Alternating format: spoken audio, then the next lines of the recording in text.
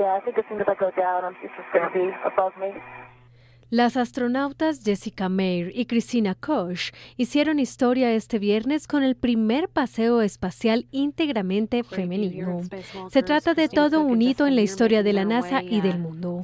Las dos mujeres reemplazaron un control de carga de baterías solares en la Estación Espacial Internacional. La caminata espacial se prolongó durante 7 horas y 17 minutos, durante las cuales las astronautas recibieron unas llamadas del presidente. Congratulations, Christina and Jessica. El paseo pudo seguirse en directo por internet. En el video en vivo se pudo ver a las astronautas Koch, ingeniera de profesión, y Meir, bióloga. Trabajaban en el exterior de la nave mientras reparaban las baterías de la viga de babor de la estación.